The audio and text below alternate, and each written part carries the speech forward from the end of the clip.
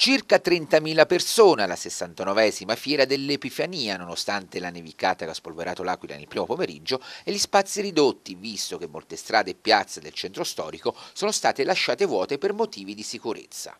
Un successo comunque, secondo gli organizzatori della Federazione Ambulanti, la FIVA, della Confcommercio. E il presidente Alberto Capretti ora punta a coinvolgere anche la Regione Abruzzo in vista del settantesimo anno della fiera. Dovrà essere una festa, un'edizione speciale, vogliamo tornare a sfondare quota 500 banchetti, ha dichiarato.